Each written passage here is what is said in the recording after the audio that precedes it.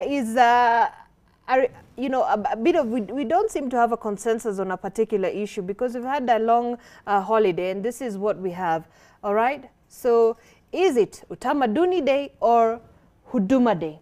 We see others saying utamaduni day others saying huduma day.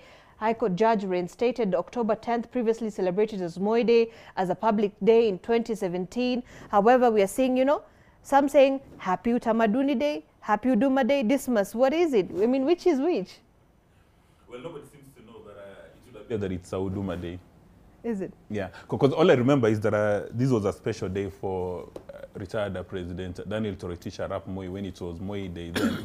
and after getting a new constitution, the the drafters started to scrap off uh, naming any of these days uh, after a personality. Right. So then uh, it became, uh, in my understanding, Right. it, Uduma Day. It's Huduma Day. Yeah, but, but whatever it is, you know, they say a rose by any other name smells just uh, nice. So a it's day fine. To, it's a day to remember. As long as President it's a public holiday, all right. So we, we, we stick to that. All right, uh, Ishmael, any any any difference for you, or it doesn't I make don't any know difference? actually why we keep the day, but do not uh, have any function Mm-hmm.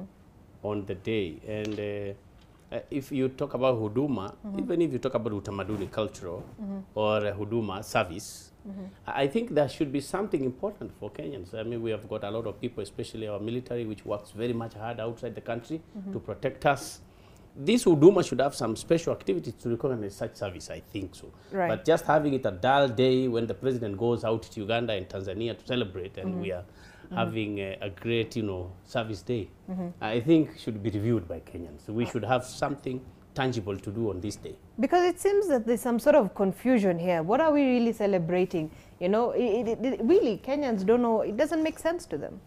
D- that's- Well, uh, I I really do not understand the importance of this day, considering that uh, Kenya has turned into a national holiday country, where we have so many holidays. do we really? Eh, there are very many. Let me tell you, a working country mm-hmm. needs working days. Mm-hmm. If we have so many days doing nothing, yesterday the amount of revenue that got lost, we never went to court. Most of the people didn't work. So really, how does government want to get revenue?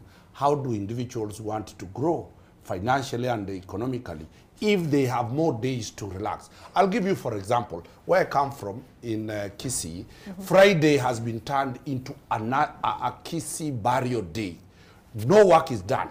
Students are not going to school. Mm-hmm. That is a day that is supposed to be for working. Mm-hmm. Monday equally has been turned into a burial day. So my people in the village have only four days working. So how do you expect to compete with others nationally? How does Kenya expect to compete globally if we have so many days that people are not working? So I, I think the judge made a mistake and we should go to court and review this order because already the day had died.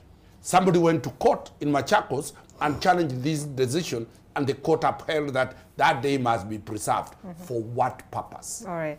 And Danstan, I suspect many Kenyans will not be happy with what you're saying. uh,